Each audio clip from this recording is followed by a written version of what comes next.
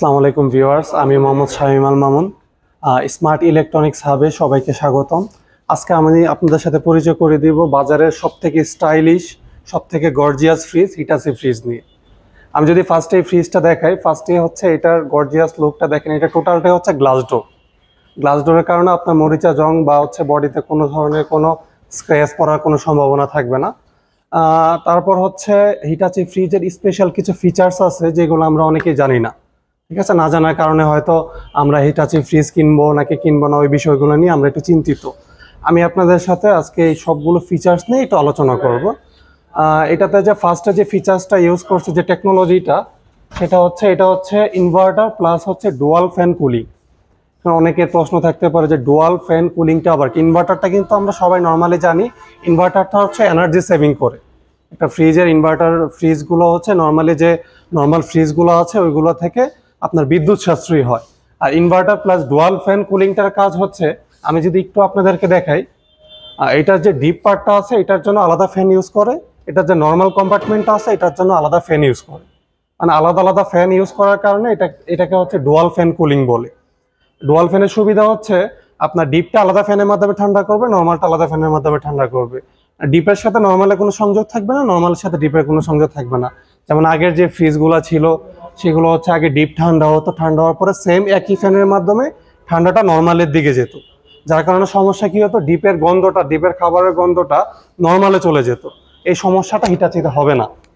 আর হচ্ছে সেকেন্ড যদি আমি বলি এটাতে হচ্ছে যে প্লাস্টিকগুলো ইউজ করা হয়েছে, প্রত্যেকটা প্লাস্টিক হচ্ছে hundred percent food grade plastic food grade প্লাস্টিকের সুবিধা হচ্ছে, আপনি এখানে একটা খাবার রাখবেন, খাবারটা লং টাইম হয়ে গেছে।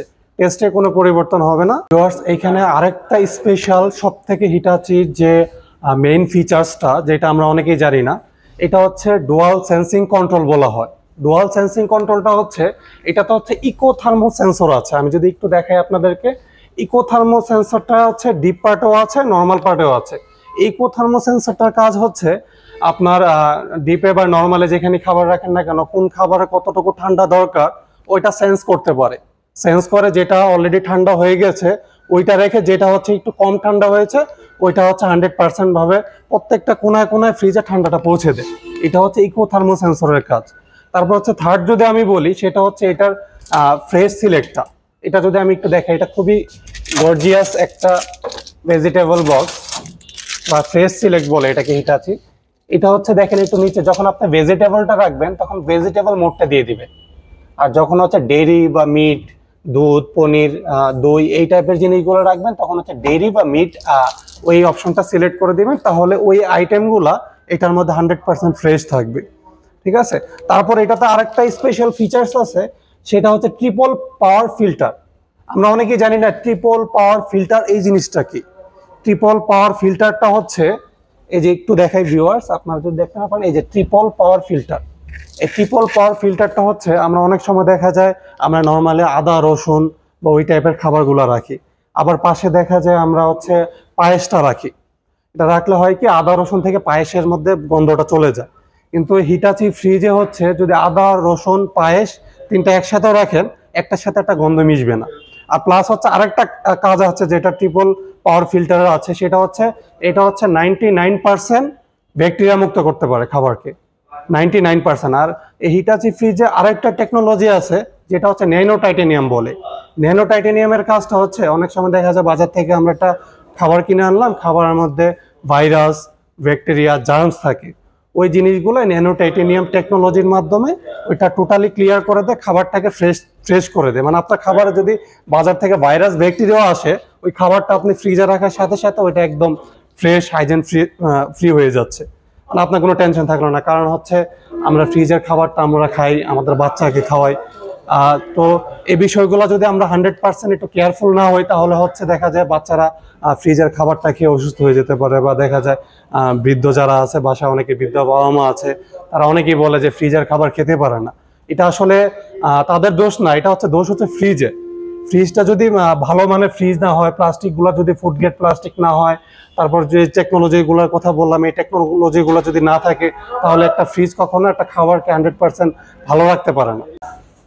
হিটাচি ফ্রিজে যে গ্লাসগুলো ইউজ করা হয়, এগুলো হচ্ছে হান্ড্রেড পার্সেন্ট টেম্পার্ড গ্লাস আমরা অনেকেই জাস্ট পড়ি যে টেম্পার্ড গ্লাস বা শুনি টেম্পার্ড গ্লাস টেম্পার্ড গ্লাসটা হচ্ছে, এটা হচ্ছে হান্ড্রেড কেজি পর্যন্ত লোড নিতে পারে। এটা লোড লিমিট হচ্ছে হান্ড্রেড কেজি।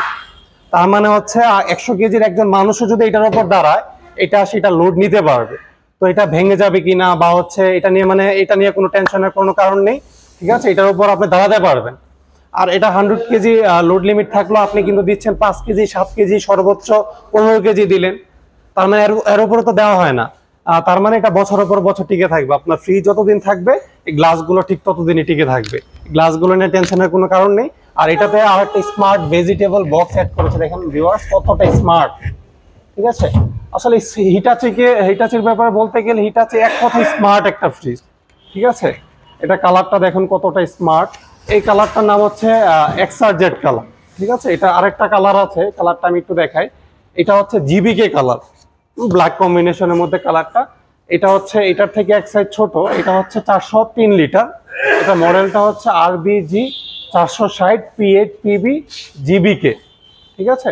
এটা প্রাইস পড়বে হচ্ছে এক লাখ নয় হাজার তিনশো এক টাকা। এটার আরেক সাইজ বড় আছে, আরেক সাইজ বড় যেটা এটা পড়বে চারশো তেতাল্লিশ লিটার এটার মডেলটা হচ্ছে চারশো নব্বই। এটা প্রাইস পড়বে এক লাখ বিশ হাজার আটশো এক টাকা। দুইটার মধ্যেই কালার আছে এটার মধ্যে জিবিকে ব্ল্যাক কালার আছে, আবার এটার মধ্যেও এই কালারটা আছে এক্সার জেড কালারটা আছে। যে কোনো কালার যেটা আপনার পছন্দ, সেটা আপনি নিতে পারবেন।